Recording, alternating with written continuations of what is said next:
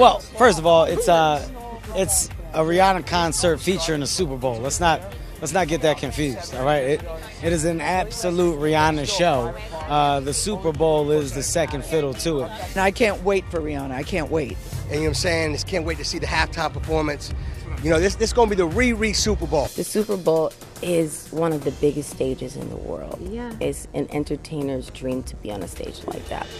Rihanna shining bright during her Super Bowl halftime performance and reminding fans just how fire her catalog is. I'm still pinching myself, really. I'm, I'm grateful.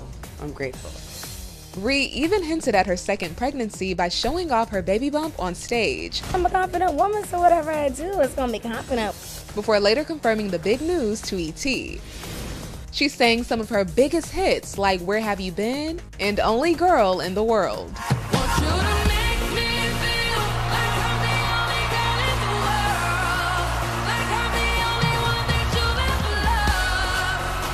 You only have 13 minutes, that's the challenge. So you're trying to cram 17 years of work into 13 minutes. So it's it's difficult. Yeah, the Barbadian beauty continued to work when she performed Run This Town. Run this town